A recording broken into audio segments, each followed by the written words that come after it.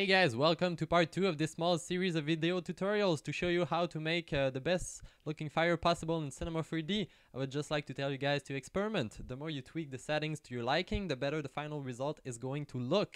And since I made this series of tutorial in about an hour, I'm sure you can uh, make your fire good look way better than I did. Uh, so here's part 2 and I hope you have a good time watching.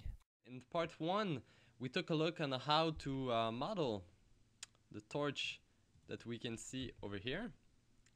Uh, so if you want to, to know how to model torches and make uh, metallic looking textures, you can see that into part 1 in the description. Uh, now into part 2 we are going to take a look on how to create uh, the lighting for a scene.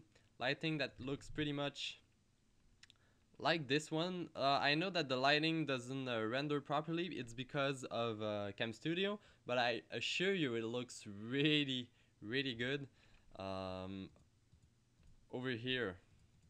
All right. So um, first first off you, we are going to add a light to the scene. Press E on the keyboard and bring that light up.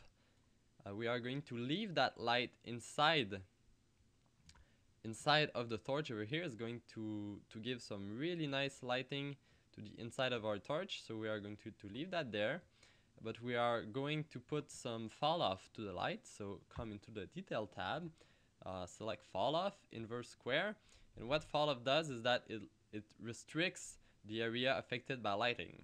And of course we don't want a white light we are going to select a kind of orange like this. That looks pretty good for the moment. We are going to crank the intensity of that light up and we are going to crank the radius down. So um, that looks good for the, the inside lighting of our torch. Just leave it as it is. We are going to duplicate that light and bring the other one where the flames are going to be.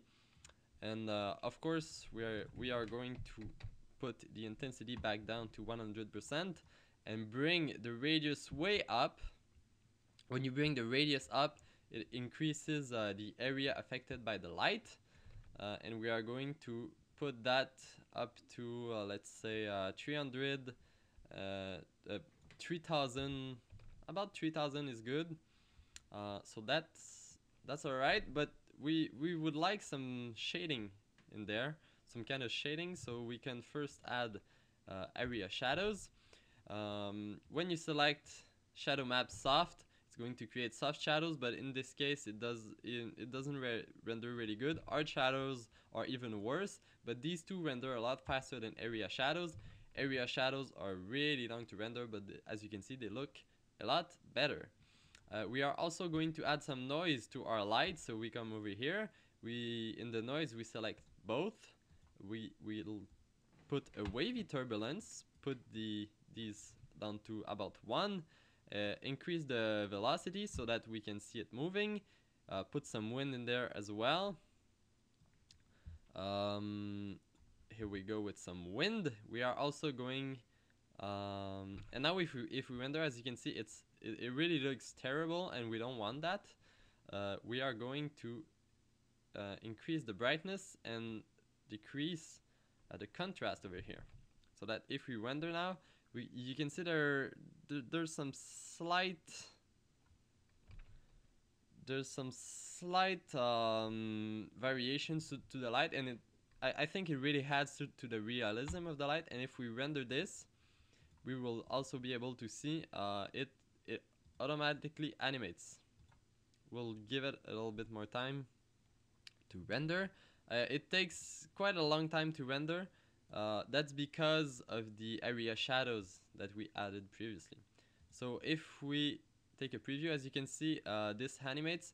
This might be animating a little bit too fast, so uh, what I'm going to do, I'm going to crank that velocity down, and uh, I'm going to crank the wind down as well uh, to have less animation. So like that should be okay.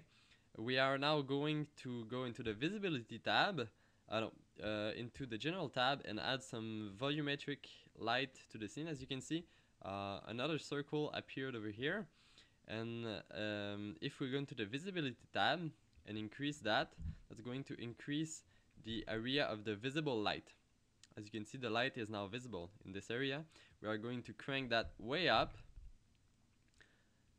That looks kind of good. And now we are going to increase the Y value of that light so that it it matches the shape of the flames that we are going to add later. So we are going to crank that down a little bit.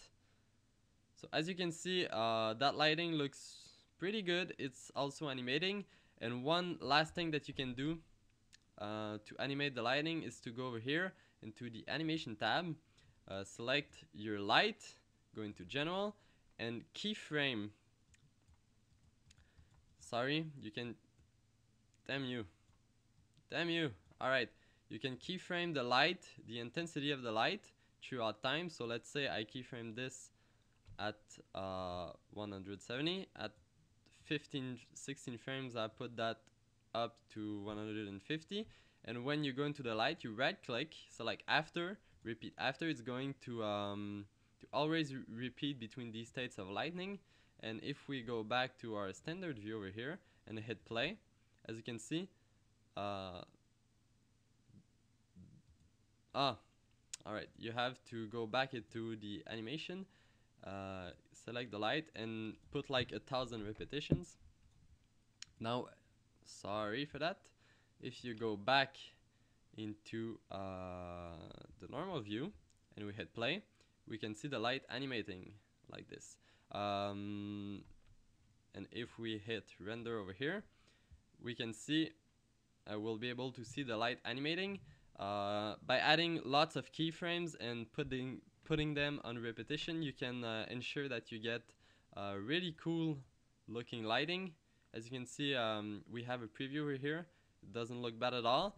Uh, it simulates the the, intent the the varying intensity of a torch so uh, here uh, we, we have our blurry uh, things moving on the ground as well. So I think it looks pretty good for the moment. Thanks for watching. Be sure to keep an eye out for part 3 in which we are going um, to see how to make the fire for our torch. So thanks for watching. Have a nice day